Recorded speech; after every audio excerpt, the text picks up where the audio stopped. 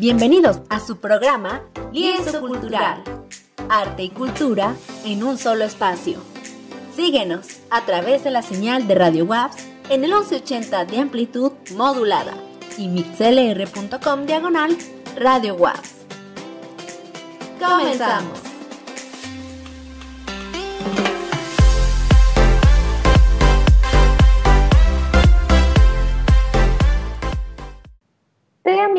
Bienvenidos a esta primera emisión del Lienzo Cultural, arte y cultura en un solo espacio. Ya saben, en este programa vamos a estar viendo muchísima información cultural, arte, por supuesto pintura, literatura, música, cine y muchísimo más. Pero antes de iniciar con el contenido de este programa, les quiero agradecer por estar escuchándonos a través del 1180 de amplitud modulada. Ya saben que si no tienen una radio, nos pueden escuchar totalmente en vivo por internet en mixlr.com diagonal Radio WAPS. También agradezco a todas las personas que se están uniendo a la transmisión en Facebook Live en Comunicación Radio WAPS. Y bueno, para el primer programa tenemos bastante información eh, para ustedes, pero para iniciar nos vamos a ir con las efemérides culturales de la semana y después nos vamos a ir con la cápsula Fragmentos. Efemérides culturales. 8 de febrero. 1828. Nace el escritor de ciencia ficción Jules Gabriel Vernet en Francia. 1868. Nace el poeta mexicano Luis Urbina. 1931 nace el actor de cine James Dean. 9 de febrero, Día del Dentista. 1881 muere Fyodor Dostoyevsky, novelista ruso, autor de Crimen y Castigo. 1913 inicia en la Ciudad de México el movimiento armado conocido como la Decena Trágica. 1981 muere el precursor de rock and roll Bill Haley. 10 de febrero, Día de la Fuerza Aérea Mexicana. 1818 nace el escritor, cronista y político Guillermo Prieto en la Ciudad de México. 1939 muere el Papa Pío IX a causa de una pulmonía. 1997 muere la locutora Lourdes Guerrero a los 58 años de edad. 11 de febrero 1650 muere René Descartes, filósofo, escritor y matemático francés. 1847 nace Thomas Alva Edison, importante inventor y empresario estadounidense. 12 de febrero, Día Mundial contra la Utilización de Niños y Niñas Soldados. 1809, nace el naturalista y filósofo Charles Darwin. 1906, nace en Guadalajara, Jalisco, el compositor Pepe Guizar. 1925, debuta en México la empresa de teatro frívolo Bataclan de París, que provocó gran revuelo. 1958. Creación de la Comisión Nacional de los Libros de Texto Gratuito. 13 de febrero. Día Mundial de la Radio. 1883. Nace el compositor alemán Richard Wagner. 1893. Muere en Italia Ignacio Manuel Altamirano, hombre de letras, abogado, orador, político y periodista mexicano. 1898. Muere en la Ciudad de México el general Félix Zuluaga, quien fuera presidente de México en 1858 y 1859.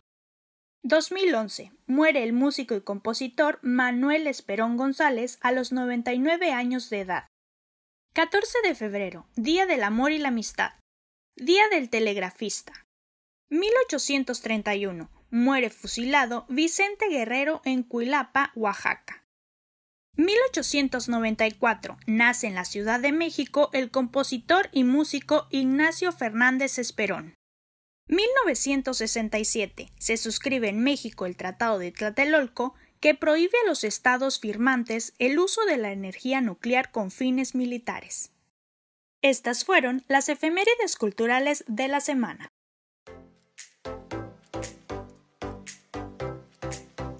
Fragmentos.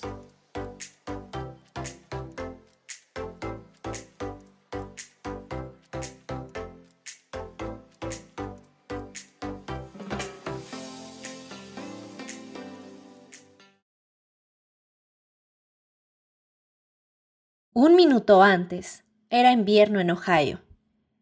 Las puertas y las ventanas estaban cerradas.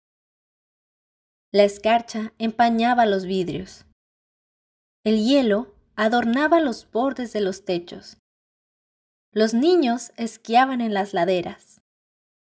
Las mujeres, envueltas en abrigos de piel, caminaban torpemente por las calles heladas como grandes osos negros. Y de pronto, una larga ola de calor atravesó el pueblo. Una marea de aire tórrido, como si alguien hubiera abierto de par en par la puerta de un horno. El calor latió entre las casas, los arbustos, los niños. El hielo se desprendió de los techos, se quebró y empezó a fundirse. Las puertas se abrieron, las ventanas se levantaron. Los niños se quitaron las ropas de lana. Las mujeres se despojaron de sus disfraces de osos. La nieve se derritió, descubriendo los viejos y verdes prados del último verano. El verano del cohete. Las palabras corrieron de boca en boca por las casas abiertas y ventiladas. El verano del cohete. El caluroso aire desértico alteró los dibujos de la escarcha en los vidrios, borrando la obra de arte. Esquíes y trineos fueron de pronto inútiles. La nieve, que venía de los cielos helados, llegaba al suelo como una lluvia cálida. El verano del cohete. La gente se asomaba a los porches húmedos y observaba el cielo cada vez más rojo. El cohete, instalado en su plataforma, lanzaba rosadas nubes de fuego y calor. El cohete, de pie en la fría mañana de invierno, engendraba el estío con el aliento de sus poderosos escapes. El cohete creaba el buen tiempo y durante unos instantes fue verano en la tierra.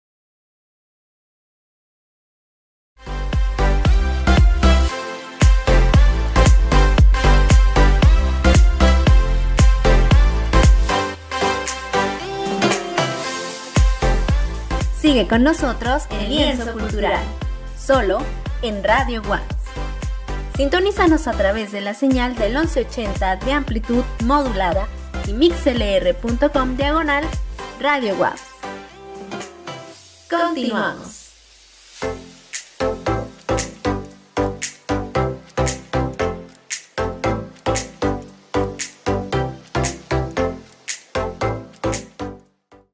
Y bueno, ya estamos de regreso aquí en Lienzo Cultural. Como pueden ver, también a través de la transmisión Facebook Live, nos encontramos con una invitada muy especial, es Aleida Aguiar. Seguramente ustedes ya la habrán visto muchas veces aquí en Radio Web. Y el día de hoy, Aleida. Muy bien, Alba, muchas gracias por el espacio. No, muchas gracias a ti por estar el día de hoy con nosotros. Y bueno, pues el día de hoy nos vas a hablar de Fondo Editorial WAP. Platícanos un poco sobre esta área para a lo mejor todos aquellos estudiantes que son nuevos, a lo mejor que no saben qué se hace en esta área. Platícanos. Claro que sí. Bueno, este, el área de fondo editorial, nosotros nos dedicamos a la comercialización y distribución del material que publica nuestra universidad. Este, tal vez muchos no sepan, pero nuestra universidad cuenta con su propia imprenta eh, y, y, edita y imprime los libros que pues producen los profesores investigadores de todas las áreas y pues nosotros nos encargamos, ya que el libro llega a nuestras manos, de presentarlo tanto a nivel este, local como a nivel nacional. A veces incluso nos toca mandar los libros este, a otras partes del mundo y también este, pues nos dedicamos a venderlo, ya sea en puntos de venta igual locales y nacionales. Este, y nos dedicamos también al fomento a la lectura que es pues hacer la feria del libro, que ya esperemos que algunos de, los que nos están viendo hayan podido asistir e incluso participar como apoyo logístico. También nos dedicamos a hacer el coloquio universitario de libros californiano y presentaciones del libro, actividades este por el 23 de abril, que es el día, el día mundial del libro, y algunas otras cositas como andanzas nocturnas. Básicamente nos dedicamos a todo lo que son pues este eh, la promoción de los libros, eh, tanto libros que producimos nosotros como los libros este a nivel internacional. Así es.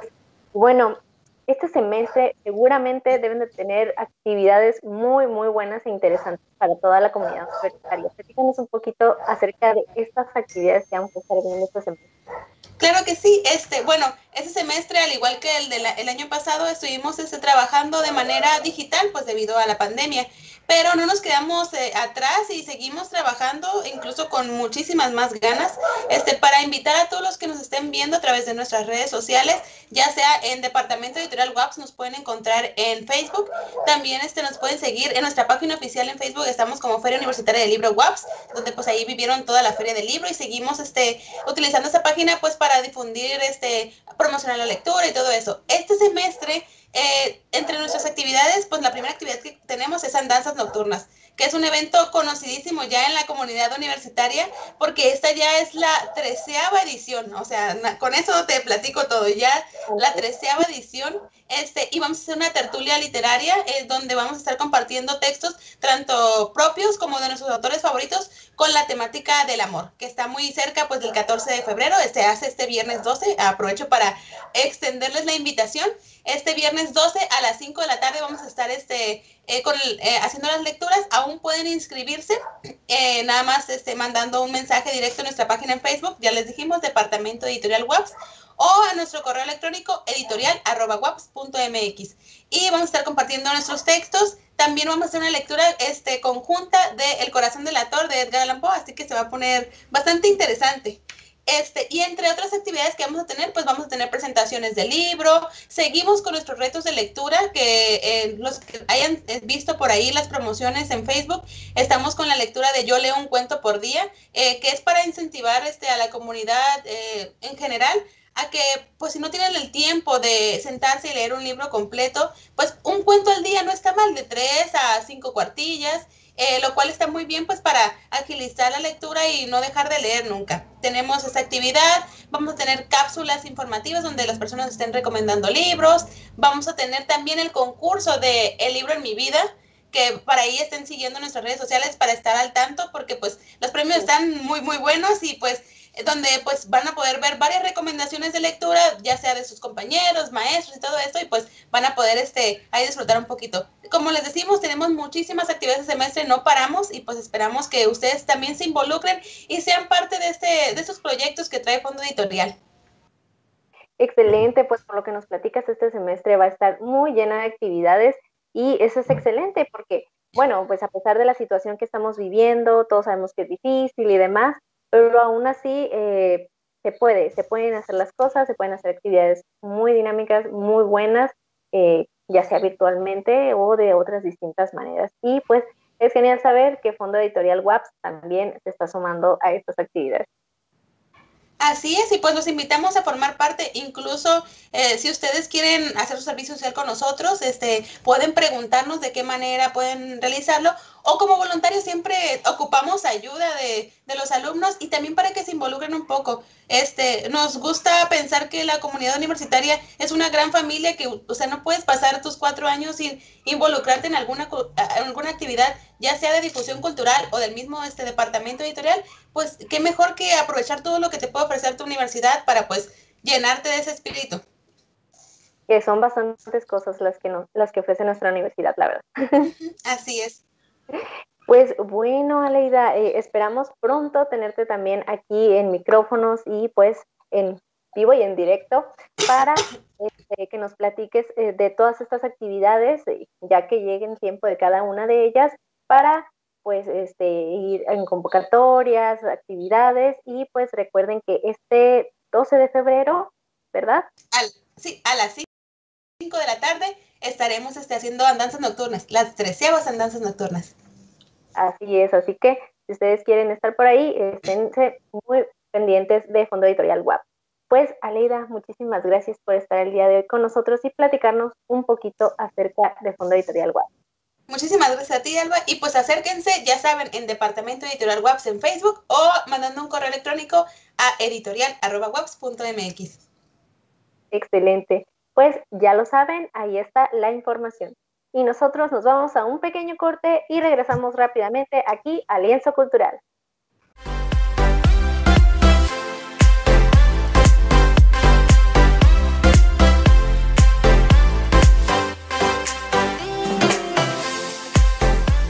Sigue con nosotros en Lienzo Cultural, solo en Radio Watts. Sintonízanos a través de la señal del 1180 de amplitud modulada y mixlr.com diagonal Radio Watts. Continuamos.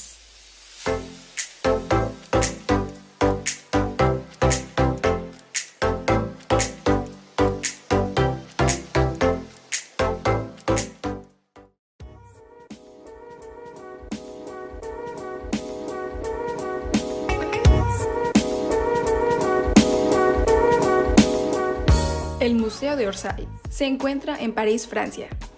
El edificio del actual museo se creó entre finales del siglo XIX y principios del siglo XX, como una estación ferroviaria para la Exposición Universal de París en el año 1900. El edificio fue diseñado por el arquitecto Victor Laloux, quien fue un destacado arquitecto y académico parisino de la época bella. El lugar fue utilizado para diversas cosas, hasta que en 1973 se estableció el proyecto del museo en la vieja estación ferroviaria de Orsay, la cual estaba en la ruina. En la actualidad, el museo alberga la mayor cantidad de obras impresionistas del mundo. En el museo podemos encontrar las obras más destacadas de artistas como Edouard Manet, sus obras como Almuerzo sobre las hierbas y Olimpia, así como otras obras de Edgar Degas, Renoir y Monet. Debido a la crisis sanitaria, la visita de museos es bastante restringida, por lo cual el Museo de Orsay decidió hacer un recorrido virtual, en donde tú, en cualquier parte del mundo, puedes recorrer los pasillos del museo y ver todas sus obras, desde la comodidad de tu hogar. Para más información, puedes entrar a la página web www.elestudiantedigital.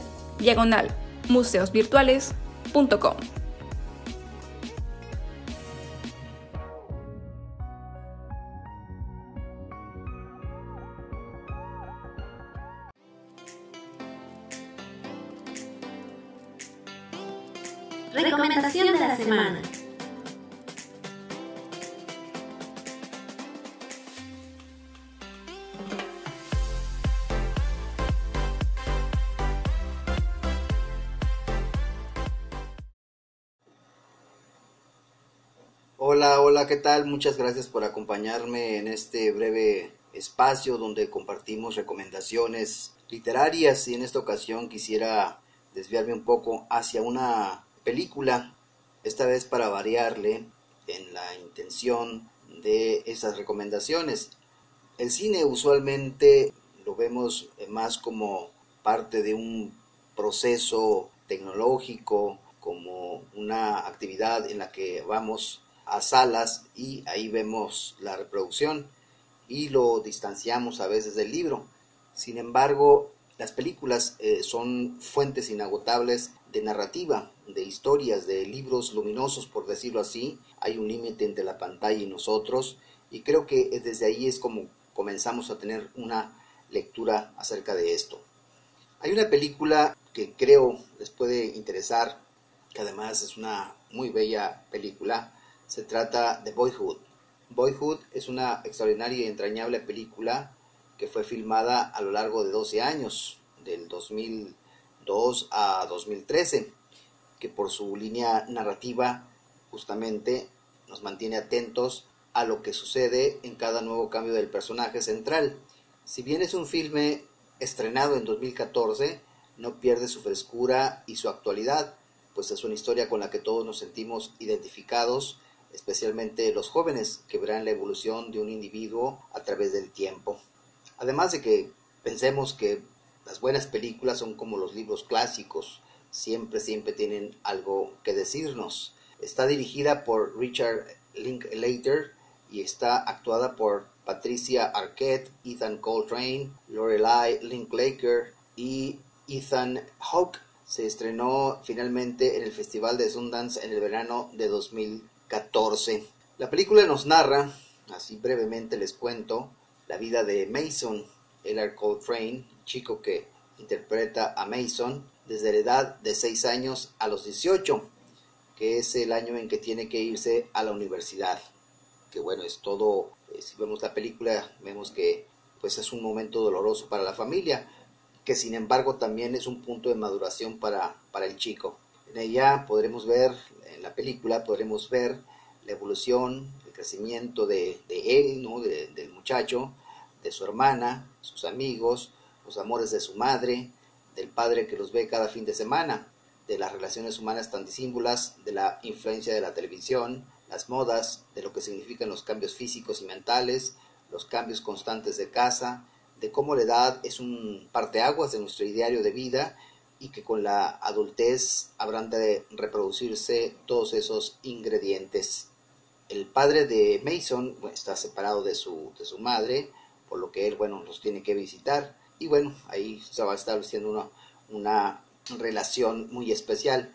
Debemos aclarar que la película se aleja muchísimo de las estas eh, llamadas comedias románticas que luego suelen inundarnos en, en, los cines, sino que esa está centrada justamente en, en el valor de la vida cotidiana y en el valor de las relaciones humanas y en el valor y la profundidad de lo que significa el crecimiento de un individuo, que es en este caso Mason, interpretado por L.R. Coltrane. También les cuento que Boyhood ha sido frecuentemente utilizada como referencia cultural o parodia, así como sucedió en el capítulo Bart Hood de la vigésimo séptima temporada de Los Simpson, donde se muestra, al igual que en la película, la vida de Bart a través de los años y su proceso de maduración. También, aparte de, esto que les estoy contando, hay otro referente cultural y que generaría además un nuevo disco icono de los Beatles, que se trata del famoso álbum negro, una recopilación ideada por Ethan Hawke como regalo a su hija Maya cuando cumplió 13 años. Bueno, la hija de Ethan Hawke, Maya, que tuvo en conjunto con Uma, la actriz, la también actriz Uma Thurman. Bueno, cuando cumplió 13 años, Ethan le regaló a ella una recopilación de canciones que él hizo y que le puso el álbum negro. Bueno, esta idea, por el amor y el, además de que era un fanático de la banda, esto el director Richard Linklater lo, lo vio bien decidió incluirlo dentro del argumento central de la película y se lo eh, hizo que el, padre del chico, del protagonista, se lo regalara como parte de ese proceso, este disco antológico. Así que es muy interesante, además de que también el disco adquirió eh, fama y la gente comenzó a buscarlo porque el disco realmente no existía. Sin embargo, parece ser que ya como, como tal puede puede adquirirse en algunas partes, incluso en Spotify lo puede encontrar y escuchar completo, ¿no? Tiene muchas canciones de John Lennon, de Paul McCartney, de George Harrison y de Ringo Starr, que es sobre todo la parte posterior a la, a la vida de los Beatles, ¿no? Cuando ellos ya eh, tocaron en solitario y se dedicaron, bueno, a sus, a sus propias vidas, que son canciones de ese tipo, ¿no? Es una recuperación de ese, de ese tiempo en que los Beatles hicieron cosas por su lado. Y ya bueno, con, con, esa referencia, pues la verdad es que sí es una delicia escucharlo ya compilado de esta manera y pensando siempre que son los Beatles, aunque por separado, están, digamos, con, con sus talentos unidos en este llamado álbum negro. Que bueno, tenemos que agradecerle a Ethan Hawke la idea. La película fue mundialmente aclamada.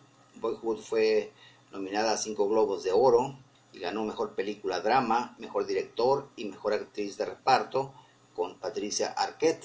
También la nominaron para cinco premios BAFTA y ganó a Mejor Dirección y Mejor Película. Por otro lado, fue nominada a seis premios de la Academia, incluyendo Mejor Película, Mejor Director, Mejor Actor de Reparto por Ethan Hawke y Mejor Actriz de Reparto por Patricia Arquette, que terminó ganando un Oscar, ¿no? En 2016, Metacritic designó la película como la más elogiada del siglo XXI y eso se mantiene hasta nuestros días. La verdad es que merece la pena que la, que la vean, que la busquen. Pueden encontrar en la red una película muy interesante, muy entrañable. Insisto que se aleja muchísimo de todas estas ideas de películas pues muy armadas, eh, con intencionalmente lacrimógenas. Yo creo que es una película diferente que les les va a interesar y que seguramente la van a hacer suya y que además se van a sentir completamente identificados, completamente recomendable. Bueno, pues muchas gracias, esto fue todo. Yo me despido, como siempre, ojalá nos podamos seguir escuchando en un próximo programa, en una próxima recomendación. Soy Ramón Cuellar Márquez, hasta pronto. Y ya estamos de regreso después de haber visto esta cápsula de recomendación de la semana y ya prácticamente para despedirnos, sí, lamentablemente se nos ha acabado el tiempo de este primer programa, pero no sin antes agradecerles a todos los que nos estuvieron viendo a través de nuestra transmisión en Facebook Live, Comunicación Radio Web. También a los que nos estuvieron escuchando a través de radio en el 1180 de amplitud modulada y por mixlr.com diagonal Radio Web. Les recuerdo rápidamente nuestras redes sociales para que estén bien enterados de toda nuestra programación. Estamos en Instagram como arroba Radio Oficial, en Twitter como arroba Radio y en YouTube como TV Así que no me queda nada más que despedirme y yo los veo aquí la próxima semana en Lienzo Cultural.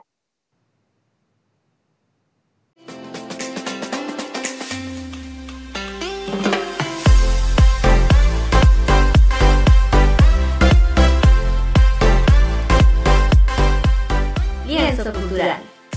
Arte y cultura en un solo espacio.